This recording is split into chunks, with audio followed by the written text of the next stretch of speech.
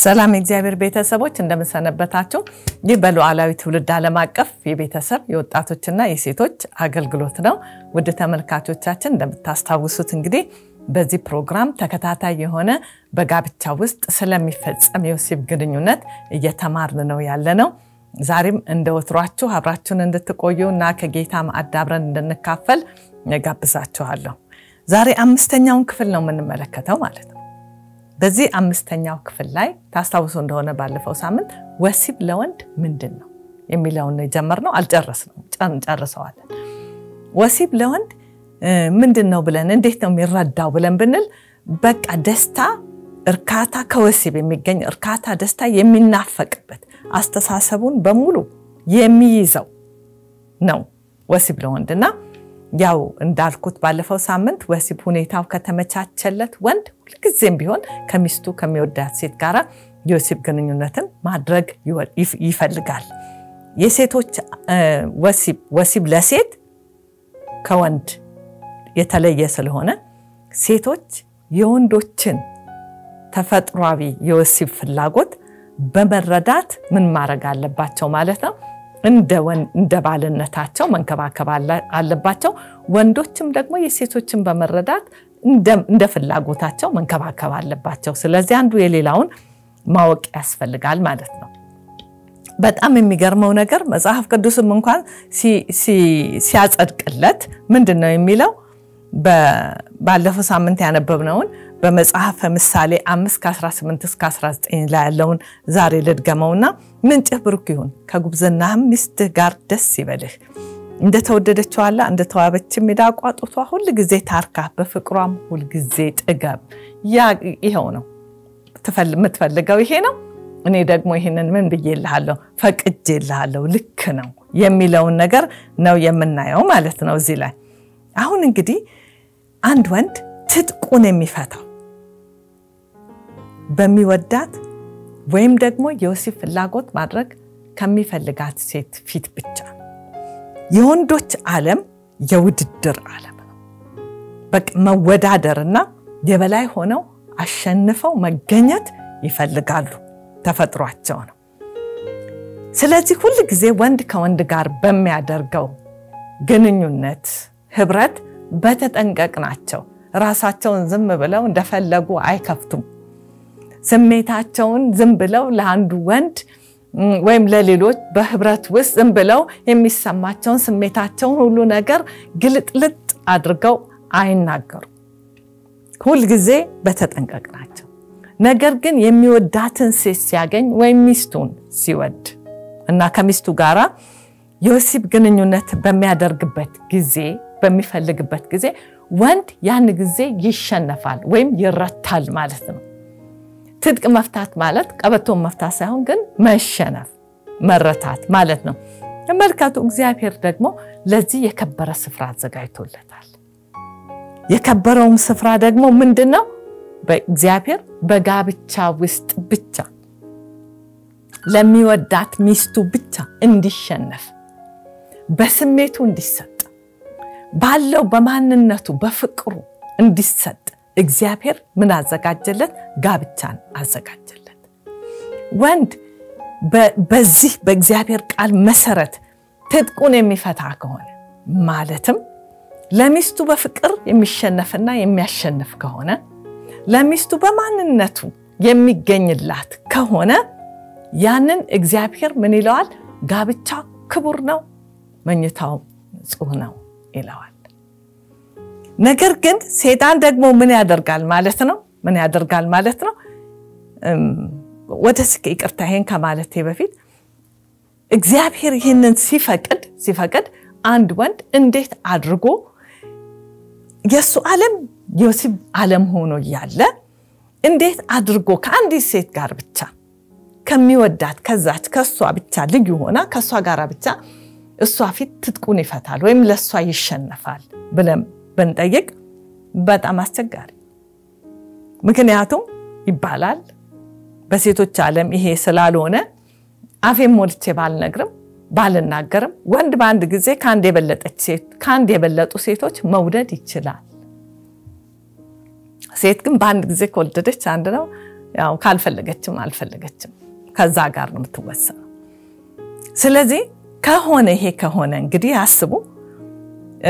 ባለፈው ሳምንትም ይህንን ምሳሌ ጠቅሻለሁ። ንጉሥ ሰለሞን ሰባት መቶ ቁባቶች ሶስት መቶ ሚስቶች ነበሩት እና እንግዲህ እያንዳንዶቹን እንዴት እንደሚይዛቸው ባይጻፍልንም ባያስፈልገንም ግን የብዛቱንና የወንድ ፍላጎት ምን እንደሆነ በቀላሉ ልንረዳ እንችላለን ማለት ነው።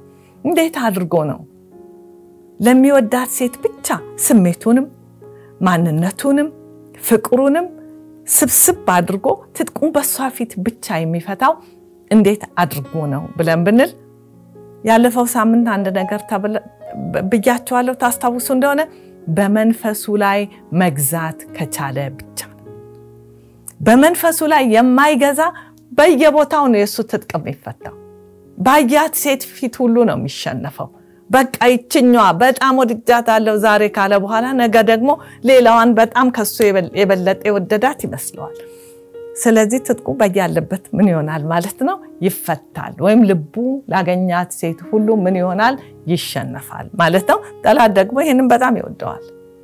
ምክንያቱም እግዚአብሔር የከበረ ስፍራ የወንድ መሸነፊያ ስፍራ ሚስቱ ጋር ብቻ እንደሆነ ወይም ደግሞ መገለጫው ማንነቱ መገለጫው ስፍራ ሚስቱ ጋር ብቻ እንደሆነ አዘጋጅቶለት ሳለ መንፈሱም ባለመግዛቱ ምክንያት በየሚሄድበት ሴት ጋር በሚያያት ሴት ሁሉ ቢችል በስጋ ባይችል በአእምሮ ያመነዘረ ትጥቁን የሚፈታ ከሆነ ተመልከቱ፣ ሴጣን የእሱን ወንድነት ይመታል። ልበ ሙሉነቱን፣ ድፍረቱን፣ የህሊናውን ንጹህነት ያቆሽሽበታል። ስለዚህ ይሄ ሰው ምን ይሆናል ማለት ነው? በልበ ሙሉነት የወንድነቱን፣ የባልነቱን፣ የአባትነቱን ተግባር መፈጸም የማይችል ይሆናል። ዛሬ ብዙ ወንዶች አሉ፣ ጥሩ ስራ ያላቸው፣ ጥሩ ደሞዝ ይዘው የሚመጡ በጣም ጥሩ ቁመና ያላቸው፣ ጥሩ ኑሮ ያላቸው፣ በቃ በሁሉ ነገር እንደው ያላቸው ግን በውስጣቸው ግን ወንድነታቸው የሞተባቸው አሉ። ለምንድን ነው የሞተባቸው? ለምንድን ነው በእግዚአብሔር ፊትና በሚስቱ በልጆቹ ፊት በልበ ሙላትና በድፍረት የአባትነትን የባልነትን ሚና መወጣት የማይችሉት?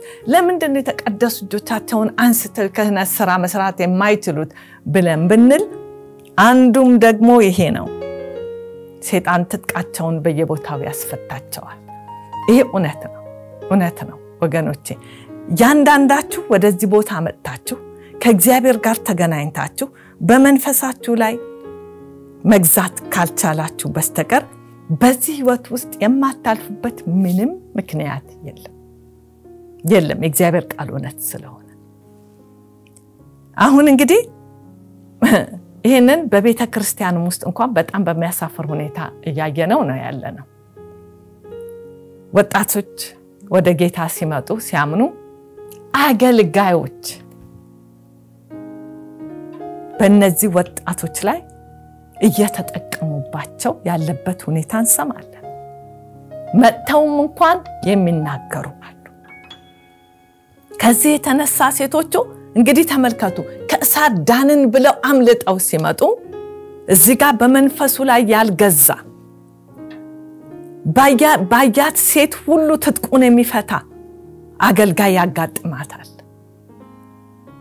ስለዚህ መጀመሪያ እሷ አምልጣ ስትመጣ ትተማመንበታለች። ይሄ ሰው የእግዚአብሔር ሰው ነው፣ ይሄ ሰው ቅዱስ ነው፣ በቃ ይሄ ሰው በቃ ካለብኝ መከራ ያስጥለኛል፣ ይሄ ሰው አሁን የገባሁበትን አዲስ ህይወት በቃ እንድቀጥልበት ያደርገኛል ብላ ታምና ራሷን በሱ ላይ በምትጥልበት ጊዜ ጉዳዩ ወደ ሌላ ነገር ይለወጣል። ለምን ብለን ብንል እሱ በመንፈሱ ላይ ያልገዛ ትጥቁም በየቦታው የሚፈታ ነው። እናንተ ወገኖቼ፣ ወንድሞቼ ይህንን ትምህርት የምትሰሙ የምትከታተሉ፣ ወደፊትም ደግሞ በፌስቡክ ስለሚለቀቅ በይቅርታ በዩቱብ ስለሚለቀቅ ወደፊት እንደው እየገባችሁ እንኳን ልትከታተሉ በምትችሉበት ሁኔታ ነው ያለው እና የሰማችሁ ላልሰማችሁ እየነገራችሁ በእውነት በእውነት አገልጋዮች በመንፈሳችሁ ላይ እግዚአብሔር እንዲገዛ በመፍቀድ እናንተ መንፈሳችሁ የተገዛ እንዲሆን በማድረግ ያላገባችሁ አግቡ፣ ያገባችሁ ትጥቃችሁን በሚስቶቻችሁ ፊት ብቻ ፍቱ። ስለምን እናንተም ተጎድታችሁ ስለምን ሌላውን ትጎዳላችሁ? ስለምን የእግዚአብሔር ስም ስለዚህ ይሰደባል? ስለምንስ እናንተ ወደ ሲኦል እየሄዳችሁ ሌሎች ወደ ሲኦል እንዲሄዱ ምክንያት ትሆናላችሁ? ይሄ በደንብ የሚታሰቡበት ቤተ ክርስቲያን ልታስተምረው የሚገባት ነገር ነው። ዛሬ ወጣት ሴቶችን ለወጣቱ አገልጋዮችም ሆነ ኧረ ለሌሎችም ቢሆን ለሌሎችም ቢሆን ለመስጠት የተፈራበት ጊዜ ነው። ታዲያ ከዚህ ጊዜ የተሻለ መቼ ነው የእግዚአብሔር መንፈስ በኃይል በኃይል በተሃድሶ ይምጣ ብለን መለመን ያለብን? ከዚህ ጊዜ የተሻለ ጊዜ ይመጣል። ይሄ ጊዜ ነው። ይሄ ጊዜ ይህንን አሁን እኔ በምሳሌ ወይም ደግሞ ይሄ ከሌ አንዱ እንዲያርጉ እንዲያርጉ አልልም። ብዙ እኔ ከሰማሁት የበለጠ እንኳን እናንተ የምታውቁት ብዙ ጉዳይ አለ። ምንም የአደባባይ ሚስጥር ነው። የአደባባይ ከሌሊቱ ስድስት ሰዓት ለሴቶች ስልክ እየተደወለ ከሚስቱ ጋር ሽንት ቤት እየገባ ለሌሎች ሴቶች ስልክ የሚደውል ደፋሮች ብዙ አሉ። ቤታቸው ሚስታቸውን አቅፈው ተኝተው በሀሳቡ ከሚያመነዝራት ሴት ጋር ትጥቁን የሚፈቱ ብዙ አሉ። እግዚአብሔር ይርዳን በእውነት እግዚአብሔር ይርዳን። አንዱም ይሄ እንደ ሚስጥር ተይዞ ስለተቀመጠ የወሲብ ግንኙነት በባልና በሚስት መካከል፣ በጮኛሞች መካከል ወጣቶች ሲያገቡ ሳያገቡ ባለበት ጊዜ ውስጥ ልክ እንደ ሚስጥር ይዞ ስለተያዘ በቃ ውስጥ ውስጡን እሳቱ ምን ይላል ይነዳል፣ ከላይ ግን አይታይም። አሁን ግን መግለጥ ያለብን ጊዜ ይመስለኛል። ይህንን ነገር መግለጥም ከዚህም ደግሞ ቃጠሎ ሰዎችን ማትረፍ ያለብን ጊዜ ይመስለኛል ማለት ነው። እዚህ ተመልከቱ። ትጥቅ የምትፈቱት ወንዶች የት ነው? በጋብቻ ህይወት ውስጥ ብቻ ነው። ወሲብ ለሴት ምን ይመስላል? ለወንድ ይሄን ያህል ካየን ወደፊትም በተለያየ ርዕስ ውስጥ እንደግመዋለንና ለመሆኑ ወሲብ ለሴት ምን ይመስላል ብላችሁ ብትሉ በመጀመሪያ ደረጃ ወንዶች ወሲብ ለሴት ምን ይመስላል ብትሏቸው ልክ እንደ ራሳቸው ነው የሚያስቡት። እንደኔ ወሲብ ፍላጎት የምታስብ ስለ ወሲብ ግንኙነት የምታስብ እንደኔ ደግሞ የወሲብ ግንኙነት ሁልጊዜ ዘወትር በተመቻቸ ሁኔታ ውስጥ መፈጸም የምትፈልግ እንደኔ ደግሞ ከዛ ውስጥ ባለው ደስታ መደሰት የምትፈልግ ናት ብሎ ነው የሚረዳት። ሴቶች ስለ ወሲብ ግንኙነት ስለ ራሳቸው ትላላችሁ ቢባሉ ሶስት አይነት መልስ ሊሰጡ ይችላሉ። በመጀመሪያው በቃ ሴት ስለሆንኩ ሚስት ስለሆንኩ የወሲብ ግንኙነት መፈጸም አንዱ ስራዬ ነው ብላ እንደ ስራዋ የምትፈልግ ልትሆን ትችላለች ማለት ነው። ሁለተኛዋ ደግሞ ምን ትላለች? እሺ ከተወደድኩኝ የተወደድኩ ከሆንኩኝ ባሌ የሚፈልገኝ ከሆነ ፍቅር የሚሰጠኝ ከሆነ ደግሞ ለወሲብ ግንኙነት ዝግጁ ነኝ የምትል ልትሆን ትችላለች። ሶስተኛዋ ደግሞ ምን አይነት ልትሆን ትችላለች? ወሲብን ወሲብ ለሴት የሚለውን በእግዚአብሔር ቃል ውስጥ የተረዳችና በእግዚአብሔር ቃል መሰረት ወሲብ የወሲብ ግንኙነትን የምትፈጽም ልትሆን ትችላለች። ይህ አመለካከት በወንዶችም ውስጥ አለ። ይህ አመለካከት ደግሞ በሴቶች ውስጥም አለ። ለመሆኑ ወሲብ ለሴት ምንድን ነው? ሴት ስለ ወሲብ ስታስብ ምን ታስባለች ብለን ብንል ወሲብ እንደ ወንድ ለሴት በማየት ላይ የተመሰረተ አይደለም። ከልብ ጋር የተያያዘ ነው። ከወዳጅነት ጋር የተያያዘ ነው ለሴት ወሲብ። ስለዚህ ምንድን ነው ማለት ነው? ለሷ የሚወዳትን አግኝታ ፍቅሩን ገልጾላት በፍቅሩ ረክታ የፍቅር ምላሽ የምትሰጥበት ፍቅር፣ ወዳጅነት፣ ህብረት የባሏን የወሲብ ፍላጎቱን ማርካት ብቻ ሳይሆን ሁለንተናውን የምትፈልግበት ስፍራ ነው። ወንዶች በደንብ ስሙ። ወንድ የወሲብ ፍላጎት ከፈጸመ በኋላ እነዚህ ሴቶች የምትፈልጋቸው ነገሮች በሱ ህይወት ውስጥ ይህን ያህል ቀዳሚ ነገሮች አይደሉም። ለእሷ ግን በጣም ጠቃሚና አንደኛ ቀዳሚ ነው። ምን ትፈልጋለች? ወሲብ ለእሷ ምንድን ነው? ባሏን ማንነቱን ነው የምትፈልገው። በዛን ሰዓት ብቻ ግንኙነቱን አይደለም፣ ልቡን፣ ፍቅሩን፣ ለእሷ ያለውን ስሜት፣ መጠጋጋቱን፣ ህብረቱን፣ አንድነቱን ይህንን ትፈልጋለች፣ ወዳጅነቱን። ስለዚህ ምንድን ነው ለእሷ ወሲብ ብላችሁ ብትሉ ፍቅር፣ ወዳጅነት፣ ህብረት፣ በአንድ ላይ ተደምረው በእግዚአብሔር ቃል መሰረት የሚቀሰቅሳት መጥቶ በፍቅር አነሳስቷት የፍቅር ምላሽ የምትሰጥበት መንገድ ነው። ከዚህ ሰፋም አርጋችሁት ጠበብም አርጉት። ወዳጅነት፣ ፍቅር፣ አንድነት፣ ህብረት፣ ማንነትን በጠቅላላ ማንነቷን ነው የምትሰጠው እሷ በወሲብ ጊዜ ይሄ ሰው ይወደኛል ካለች የእሱን ደግሞ ማንነት ትፈልጋለች ማለት ነው። ስለዚህ ወሲብ ብቻ ከሚለው ነገር ጋር የተጣበቀ አይደለም። ወሲብ ስታስብ ሴት ወይም ደግሞ የወሲብ ግንኙነት ከመፈጸም ጋር ብቻ የተያያዘ ብቻ አይደለም ማለት ነው። ሴቶች የወሲብ ተቀስቃሾች በወሲብ ተቀስቃሾች ቢሆኑ ወንዶች ፍላጎቱ የወሲብ ፍላጎቱ ኃይለኛ ስለሆነ ሚስትን በመቀስቀስና ደግሞ በፍቅር በማሸነፍም ደስ ስለሚለው ቀስቃሽ ቢሆንም ሴትም በተፈጥሮዋ ካልተቀሰቀሰች አትነሳም ማለት አይደለም። ነገር ግን በተፈጥሮዋ ደግሞ የወሲብ ፍላጎትም አላት። በተለይም ደግሞ እንቁላል በምታኮርትባቸው ቀናቶች ውስጥ የወሲብ ፍላጎቷ በጣም ከፍ ይላል ማለት ነው። ያን ጊዜ ባሏ ደግሞ ሁኔታዋን አይቶ አዳምጦ የወሲብ ፍላጎቷን በሚያረካበት ጊዜ በጣም ትደሰታለች። ለምን ስለኔ ያስባል ብላ ትደሰታለች። እሱ በሚፈልግበት የወሲብ ፍላጎቱ በሚነሳሳበት ጊዜ ብቻ ሳይሆን የእሷንም የሚነሳሳበትን ጊዜ በሚያይና በትኩረት በሚከታተልበት ጊዜና ወደ እርሷ የፍቅር ግንኙነት በሚመጣበት ጊዜ በጣም ትደሰታለች ማለት ነው። ስለዚህ ሴት የሚወዳት ካገኘች ለፍቅር ቅስቀሳው ምን ጊዜም ቢሆን ትነሳለች። ለምንድን ነው ይላሉ ወንዶች። በቃ እሷም ተቀሰቀሰች አልተቀሰቀሰች በቃ ስለዚህ ምን ያስፈልጋል? አሁን እኔም ፍላጎቴ ተነሳስቷል፣ መፈጸም የወሲብ ግንኙነት መፈጸም አለብኝ መፈጸም አለብኝ፣ እሷ ደግሞ እሺ ማለት አለባት የሚል መንፈስ ወይም እሳቤ ይዘው ከመጡ ሴቶቹም ቢ ነው የሚሉት ወይም ደግሞ ፈቃደኞች አይሆኑ። ብዙ ብዙ ግብ ግብ በዚህ መካከል አለ። ወንዶች ቆም በሉና ለምንድን ነው ሁል ጊዜ ለእኔ ጥያቄ ዝግጁ ማትሆነው ወይም ደግሞ እሺ ማትልበት ምክንያት ምንድን ነው የሚለውን ነገር ቆም በሉና ጠይቁ። በደንብ ጠይቁ። ምን ብላችሁ ጠይቁ። ምናልባት በወሲብ አረካታለሁ። ምናልባት እቺ ሴት የወሲብ ግንኙነት ብቻ አይደለም የምትፈልገው፣ እኔንም ትፈልገኛለች። ማንነቴን ትፈልገዋለች፣ ጊዜን ትፈልገዋለች፣ ጫወታዬን ትፈልገዋለች፣ አብሮነቴን ትፈልገዋለች፣ ስሜቴን ትፈልገዋለች። ስለዚህ ምናልባት አልተገኘሁም ይሆን በዛ ቦታ እንደምወዳት እንደምወዳት አትረዳም ይሆን ምንድን ነው ምክንያቱ የሚለውን ቆም ብላችሁ ማሰብ በጣም መልካም ነው። ለምን እናንተ ፍላጎት አላችሁ። ፍላጎታችሁን ደግሞ እንዳታሟሉ እግድ ታያላችሁ፣ የታገደ ነገር ታያላችሁ። ስለዚህ ይሄ የታገደው ምናልባት ከአንተ ምክንያት፣ ከባሏ አቀራረብ ምክንያት፣ ከባሏ ማንነት ምክንያት ሊሆን ሊሆን ይችላል። ስለዚህ ይሄንን በመጀመሪያ ደረጃ ምን ማድረግ አለባችሁ? ክሊር ማድረግ አለባችሁ። ስለዚህ ምንድን ነው የምታደርጉት?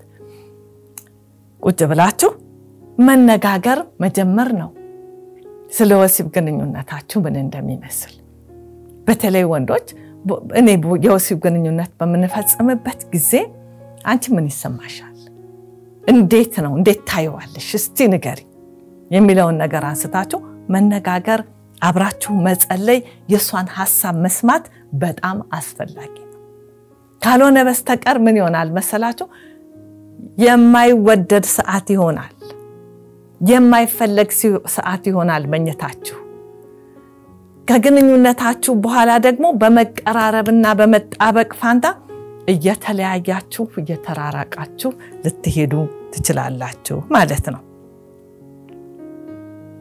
ሴቶች ወንዶች ፍላጎታቸውን ሲረዱላቸው በጣም እንደሚደሰቱ ሁሉ ፍላጎታቸውን ካልተረዱላቸው ባሎቻቸው ደግሞ በጣም ይናደዳሉ። ሴቶች ልብ ማለት ያለብን እዚህ ቦታ አንድ ነገር አለ። ምንድነው? ወንዶች ካልተነገራቸው በስተቀር እንደኛ የሰውን ስሜት አያዳምጡም ወይም የማዳመጥ ችሎታ የላቸውም ብዙ። ስለዚህ ሴቶች ባይነገርም በሁኔታ በድምፅ አወጣጥ እንኳን ሳይቀር በተለያዩ ሁኔታዎች የሰውን ፍላጎት የመረዳት ችሎታ አላቸው። ስለዚህ የባሏንን ፍላጎት የመረዳት ችሎታ አላት። እሱ ግን እንደሷ አይደለም፣ ላይረዳ ይችላል። ስለዚህ ሴቶች በራሳችሁ አይን ወንዶችን አይታችሁ እንዴት አይረዳም አትበሉ። ላይረዱ ይችላሉ። ምን ማድረግ ነው?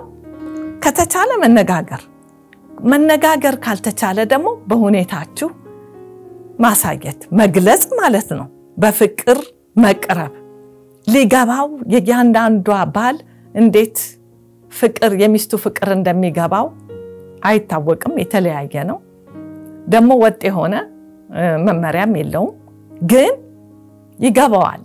መለማመድ፣ በተለይ ወጣቶች መለማመድ፣ ሚስት ፍቅሯን የምትገልጥበትን መንገድ ወንድ ማወቅ፣ ፍላጎቷን የምትገልጥበትን መንገድ ማወቅ፣ በዛ ውስጥ ማደግ አለባችሁ ማለት ነው።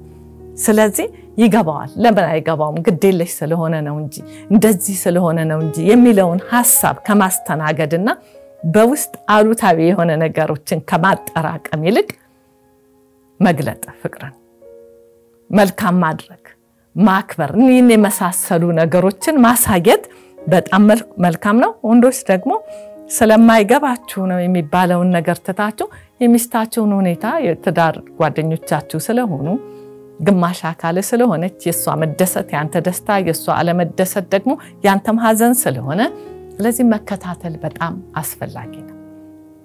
አንዳንዶቹ ምን ያደርጋሉ? እንደውም እንቁላል የሚያመርቱ የወራዊ የወር ፔሬዷን ማለት ነው ጽፈው ለጥፈው ያስቀምጣሉ እና የትኛው safe period ነው፣ የትኛው እሷ በደስታ ለወሲብ የምትዘጋጅበት ጊዜ ነው፣ የትኛው አይደለም የሚለውን ነገር ሁሉ አብረው ይነጋገራሉ ማለት ነው። ይሄ በጣም አስፈላጊ ልታዳብሩት የሚገባ ነገር ነው ማለት ነው። ተመልከቱ፣ የጋብቻ ህይወት እከክልኝ አክልሃለው ነው። እሱ ያክላታል፣ እሷም ታክለታለች። ለምን? እሷ የሚያሳክካትን ቦታ መድረስ ስለማትችል እሱም እንዲሁ። ስለዚህ በወሲብ ግንኙነት እርካታ ላይ አንዱ የሌላው ጥገኛ ነው። በፍጹም ጥገኞች ናቸው። ትክክለኛውም የእግዚአብሔር ሀሳብም ወንድ ያለ ሴት በእግዚአብሔር ፊት ሴትም ያለ ወንድ አይሆንም ነው የሚለው የእግዚአብሔር ቃል። ስለዚህ ለወንድ የወሲብ ፍላጎት እርካታው ሚስቱ ሴቷ ታስፈልገዋለች፣ ሚስቱ ለሴትም ደግሞ ባሏ ያስፈልጋታል። ስለዚህ አንዳንድ ጊዜ አንዳንድ ወንዶች እንዲህ ብለው ያስባሉ፣ ታክልኛለች፣ እኔ ማከክ አያስፈልገኝም። ስለዚህ እነዚህ በጣም ምንድን ናቸው ምንድን ናቸው? ራስ ወዳዶች የእሷን ስሜት የማያዳምጡ ናቸውና እዚህ አስገድዶም ሆነ ምንም ብሎ አኩርፎም ተቆጥቶም በቃ ተነጫንጮም ቢሆን ከሱ ጭቅጭቅ ከሱ ኩርፊያ ምናምን ብላ ራሷን እንድታዘጋጅ ወይም ደግሞ ለወሲብ ፍላጎቱ እሺ እንድትል ያረጋታል። ይሄ በጣም አስቸጋሪ ነገር ነው፣ ልብ አድርጉ። ምክንያቱም እሷ በስጋዋ ከአንተ ጋር ናት፣ በልቧ ግን የራቀች ናት። እንግዲህ እነዚህ ሰዎች ሁለቱ አንዱ የሌላው ጥገኛ መሆኑን ካላወቀ በስተቀር እሱም በዛን ሰዓት የመጣው ለስሜቱ ማርኪያ ብሎ እንጂ እሷን ፈልጎ አይደለም። እሷን ከፈለጋት እሷን በፍቅር ማነሳሳትና ባሌ ይወደኛል የምትልበት ደረጃ ላይ ማድረስ መቻል አለበት። ካልሆነ ግን ፍላጎቱን ነው። ስለዚህ የሚፈልጋት ለምግብ እንደሚፈልጋት ምግብ ሰርታ እንድታበላው እንደሚፈልጋት ልጅ እንድትወልድለት እንደሚፈልግ ልጆቹን እናት ሆና ተንከባክባ እንድታሳድግለት እንደሚፈልጋት እንደዚሁ ደግሞ ለወሲብ ይፈልጋታል። ተመልከቱ። ይሄ መቼም በጣም በጣም አስቸጋሪ ወሲብ በቃ ከሚጎዳ የወሲብ ግንኙነት ጉዳት ከሚደርስበት ወይም አደጋ ከሚደርስበት አንዱ ነገር ይሄ ነው። እሱ እንደ የፍላጎቱ ማርኪያ አድርጎ ከወሰዳትና ከዛ በኋላ የእሷን ስሜት ሳያዳምጥ የእሱን ፍላጎት አርክቶ የሚሄድበት ከሆነ ይሄ ወሲብ የምትጎዳበትና የሚጎዳበት ቦታ ይሆናል ማለት ነው። ስለዚህ ሚስትህ ያንተ ጥገኛ ናት። ለመርካት አንተን ትጠብቃለች። ለመርካት ደግሞ እሷ እንዳንተ አደለችም፣ እንደ ወንዱ አደለችም። ፍላጎቷ ስለተነሳ ብቻ የወሲብ ግንኙነት ፈጸማ ምትሄድ አደለችም። እሷ ደግሞ ለመርካት ፍቅር እንዲሰማት ያስፈልጋል።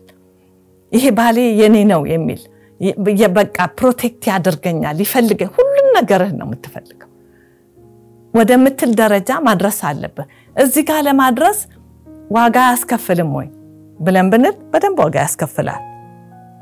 በደንብ ዋጋ ያስከፍላል። ምን አይነት ዋጋ ያስከፍላል ብለን ብንል የጊዜ ዋጋ፣ ትኩረት የመስጠት፣ የመታገስ፣ ፍቅርን የመግለጥ እነዚህ ሁሉ ዋጋ ናቸው፣ የምትከፍላቸው ስራ ናቸው። እነዚህ ሁሉ ይህንን ደግሞ መፈጸም እንድትችል የእግዚአብሔር ጸጋ ያስፈልጋል ማለት ነው። እስኪ ተመልከቱ ጌታ ኢየሱስ ክርስቶስ እያንዳንዳችንን ወደኛ ሲመጣ ዋጋ ከፍሎ ነው በፍቅር ያነሳሳን፣ ወደ ልጅነት ያመጣን። ከልጅነትም እንኳን ልጆች ሆነን በደስታ ከሱ ጋር አምልኳዊ ተራክቦ እንድናደርግ እግዚአብሔር ሲያደርግ በሁሉም አንጻር እግዚአብሔር ዋጋ ከፍሏል። ምክንያቱም ጉዳዩ ምንድን ነው? እሱ መመለክ ይፈልጋል። እኛ አምላኪዎች ነን። ስለዚህ በእኛ አምልኮ እሱ ይረካል፣ ይደሰታል። እኛንም ደግሞ በመልሱ ያስደስተናል፣ ያረካናል እግዚአብሔር። ስለዚህ የሁለታችንም ነው የሁለታችንም ነው። የእግዚአብሔርም ጉዳይ አለበት፣ የእኛም ጉዳይ አለበት። ስለዚህ እግዚአብሔር የራሳቸው ጉዳይ ነው። ያምልኩኝ ብቻ አላለም። በቃ ያምልኩኝ፣ በምንም አይነት ሁኔታ ውስጥ ሆነው ያምልኩኝ ቢልም አንችልም። እንዴት ብለን ነው የምናመልከው? እግዚአብሔር ጸጋ ካልተሰጠን እግዚአብሔር ካለንበት ሁኔታ ውስጥ አውጥቶ ወደሱ ፍቅር ውስጥ ካላስገባን እንዴት አድርገን እግዚአብሔርን ማወቅና ማምለክ እንችላለን? ልክ እንደዚህ ነው የወሲብ ግንኙነት መገለጫው ስለሆነ አሁን እንዴት አድርጋ አንተን ወዳ እንዴት አድርጋ በስሜቷ ተቀስቅሳ እንዴት አድርጋ ሙሉ የሆነውን ማንነቷን መስጠት ትችላለች? አትችልም። ስለዚህ ግንኙነቱ የአንድ ሰው ብቻ ይሆናል፣ የአንድ ክፍል ብቻ ይሆናል ማለት ነው። እሱም የማን ይሆናል? የወንድ ይሆናል። እና እንደው በዚህ ላይ ጥናት ቢደረግ ጥናት ቢደረግ በዚህ ላይ እንደው ብዙ ብዙ የሚገርም የሚገርም አይነት ውጤቶች የምንሰማ ይመስለኛል። ግን ሰዎች ይሄ በጣም ሚስጥራዊ የሆነ ነገር አፍነው የሚይዙት ነገር ስለሆነ ምን አይነት ጥናት ይደረጋል? ጥናቱ በጣም አድካሚ ይሆናል። ለማንኛውም እኛ መጽሐፍ ቅዱስ አጥንቶ እውነቱን ሰጥቶናል። እኛ የእግዚአብሔር ልጆች አዲስ ባህል ያለንን የዓለምን ባህል የምንከተል አይደለንም። ስለዚህ አዲሱን ባህል በመመስረት ይህንን ነገር ወደ ግልጽ በማምጣት እግዚአብሔርን ልናከብርበት ያስፈልጋል። ለዛሬ የተዘጋጀው ትምህርት እዚህ ላይ ይቆማል። እንግዲህ የሚቀጥለው ሳምንት ደግሞ በዚህ ተከታታይ ትምህርት እንገናኛለን። እስከዛ ሰላም ቆዩ።